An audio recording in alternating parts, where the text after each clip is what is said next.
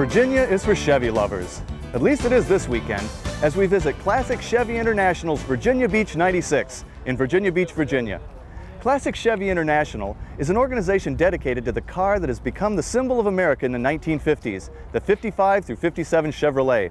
As is our custom, we'll show you some of these beautiful cars later on in the program. But first, our Classic Designers and Engineers feature this week is about Fred Goodell, the man Ford Motor Company sent over to Shelby American in the mid-60s to help Carroll mass produce the legendary Shelby Mustang. The list of projects Fred Goodell has been involved in is enough to stagger the imagination. A boyhood friend of Henry Ford II, Goodell began working for Ford Motor Company in 1934 while completing his mechanical engineering degree at the University of Detroit. He worked directly for Edsel Ford and spent the better part of a year developing a groundbreaking rear engine car that Fred hoped would be a future production model. But at Ford in those days, nothing was produced until the old man, Henry Ford, said so. Fred still remembers the day Henry and Edsel walked into the shop to review the car's chassis design. They left after looking five minutes, maybe they left. And Mr. Crawford called me on the telephone. He said, How long have you been working on that car? I said, For a year. He said, How long will it take you to scrap it? Disillusioned by this, Goodell left Ford to become a commercial pilot, and in 1942 he joined the Army Air Corps. After leaving the military, he was between jobs when he bumped into Henry Ford II in a restaurant. And Henry says, "Well, why don't you uh, why don't you come back to Ford?" I said, uh-uh, "That place is too nuts for me. I'm never going back." He said, "Well, look, I know something that my grandfather and my father didn't know. I don't know anything about the automobile business, but I know how to hire people that do, and I'm going to listen to them." Goodell returned to Ford and rose to chief engineer of the International Division. It was in this capacity that he developed a Falcon with a V8 engine. Ford later marketed the car in the U.S. as a Falcon Sprint. He was also instrumental in the design of the original Mustang, as it used the same underbody as the Falcon. In 1966, Ford requested Goodell move to Shelby American as chief engineer because Shelby was having problems mass producing the new Shelby Mustang. He was initially contacted by Jack Passino, Ford's head of racing. He declined, and the next day he received a telephone call from Don Frey, Vice President and General Manager of the Ford Division. He said, I want you to go out to California and take a look at the Shelby operations. I said, no, I'm not interested, Don. I told Passino that yesterday. He says a little more serious than that. He says, Mr. Henry Ford II wants you to go. Goodell still resisted, but eventually he was convinced to review Carroll Shelby's operation for one week in order to find a way to increase production figures. It didn't take him long to spot the problem. Here you are, you've been in production for three months and you made car number 17 this afternoon. If you're going to make 4,000 cars this year, you've got to make a lot more than that. And the problem is they're not all alike. You're hand fitting everything, and you can't do that. So you don't have time to do that. Goodell finally accepted a position at Shelby. He participated in the design of the GT350 and GT500, including prototypes like the Green Hornet, the Super Snake, and Little Red, the car that inspired the California Special Mustang. He also contributed to the design of racing cars like the GT40 Mark II and Mark IV. Goodell retired from Ford in 1974, and today he owns his own engineering consulting business. Fred Goodell, savior of the Shelby Mustang, and a classic engineer.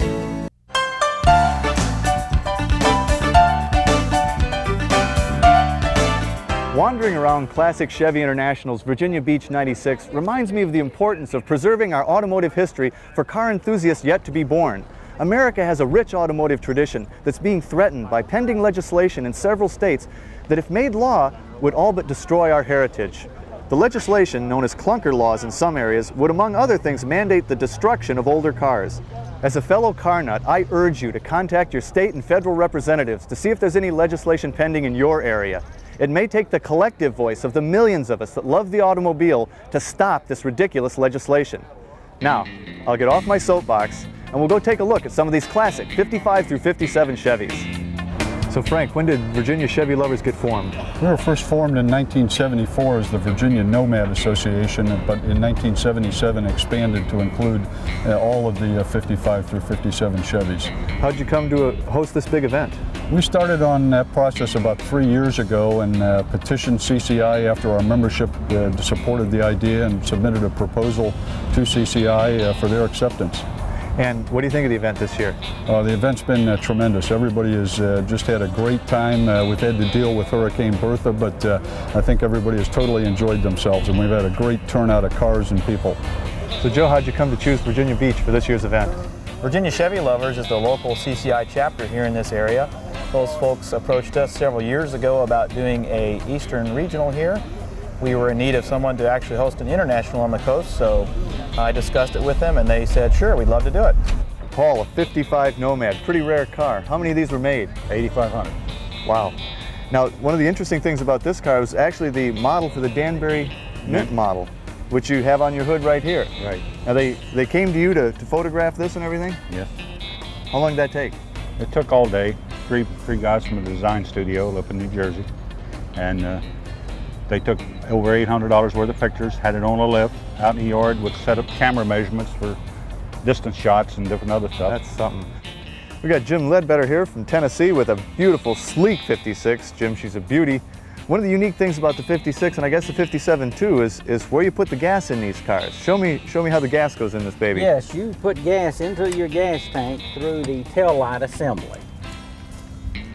And that was unique for the 1956. She's got a locking gas cap. It has a locking gas cap also, which was a, uh, a factory option at the time. Another factory option is kind of unique is this Continental kit. Don't see many of those. No, it was a fairly expensive item uh, in 1956. And of course, the Continental kit is for your spare tire, but it's entered on the back of the vehicle and it bolts into your bumper assembly. Our feature this week is a repeat of one of our most popular stories. Some of you may remember our face-to-face -face matchup of old Trans Am racing rivals, the Boss 302 Mustang and the Z28 Camaro.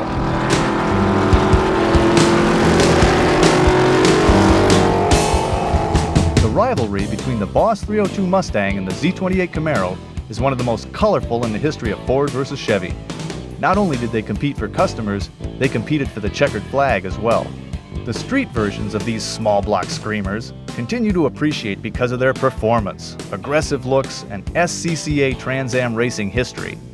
Like any great duo, each would not have achieved this level of popularity without the other. What really makes these cars unique is their racing history. Each won the prestigious Trans Am Championship when factory support was at its peak. The Z28 in 1968 and 69 and the Boss 302 in 1970. We spent a beautiful autumn weekend at Road Atlanta during the SVRA's Atlanta Vintage Grand Prix and Trans Am Reunion to take an up-close look at these two legendary race cars. This three-day event is just one of a growing number of vintage events held across the country well, Glory Days is a, a, tour of the historic Trans Am cars from the late 60s and early 70s. It's organized by Historic Auto Racing Events Incorporated in conjunction with the uh, SVRA, and we're back here to recreate the, the, feeling of the late 60s and early 70s. The driving in the Trans Am cars in those days was very much more seat of the pants, and I guess the cars were, uh, one of the reasons it was so good is that all the cars were so competitive, you know, and all of the manufacturers were interested because this meant big sales for all of them. For our look at a Boss 302, we chose this car. A 70 Boss built by Bud Moore as a backup during Ford's 70 championship season. The car was actually driven during the 71 season by Peter Gregg. The Z28 parked in the garage next door is a Roger Penske car, driven by none other than Mark Donohue when he won the 69 Trans Am Championship. Both cars have been restored to their original race condition. We asked their current owners, Ken Epsman and Fred Galloway, how they became interested in owning a piece of Trans Am history. Ever since I was a kid, I always wanted to have a 1968 Shelby GT500 convertible. I eventually got one. I took it to an open track event at Sears Point Raceway in 1984 and was hooked ever since. How about you, Fred?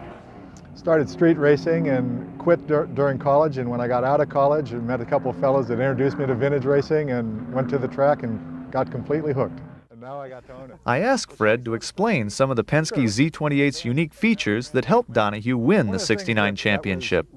He started under the hood with Chevrolet's famous cross-ram manifold and dual four-barrel carbs.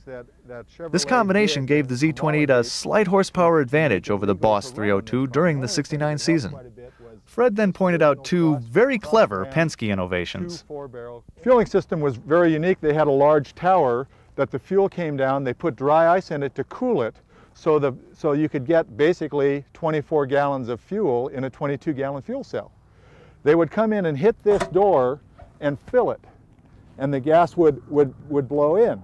An interesting thing is, is when you look underneath, you can see that, that the filler actually will hold another four gallons. Amazing. So they, they could get quite a bit of gas in, in, in, in a very short time. They were getting about 24 gallons of fuel in 3.2 seconds. That's pretty clever. So it made a very, very fast pit stop for them for gas. The changes that they made to the, to the business office, and that was for the oil, they, they could add oil in here through a pressurized can that they just gave to Donohue, so he was able to add oil during the pit stop. So he was part of the pit crew too? Correct. They also had switches that, that if somebody followed Donohue repeatedly too close into a corner, he could turn off his lights. and, and, they would never know where his braking point was. Bit of an unfair advantage, but. Ken then showed me a couple of the unique features on his Bud Moore prepared Boss 302. The flares on the fenders were enlarged a half an inch, and the inner fender wheel wells were moved in three inches to make room for larger tires. A huge chin spoiler was added for downforce. The Boss 302 was one of the first Trans Am cars to take advantage of aerodynamic aids. Ken then lifted the hood and showed me a major reason Ford won the 70 championship. Well, this, this, this motor differed mainly with this mini plenum intake system. This is a single four barrel but this air was forced in through this pipe and it, it pressurized inside the air, basically the air cleaner area, and it forced the air into basically like a, a supercharger with no, with no belts. Squeeze out a few more horsepower. That's right. After our close-up look at the cars, we asked Fred and Ken if they'd take the two Trans Am champions out on the track so we could photograph them. They jumped at the chance to have Road Atlanta's 2.5 miles of scenic beauty to themselves.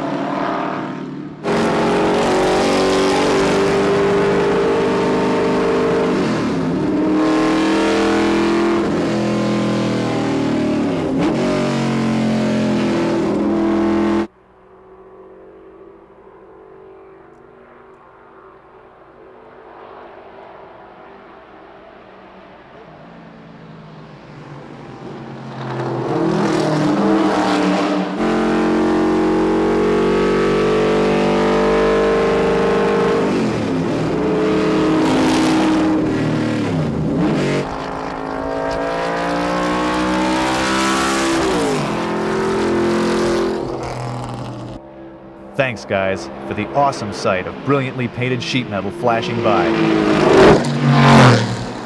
And the sweet sound of screaming V8s echoing through the trees.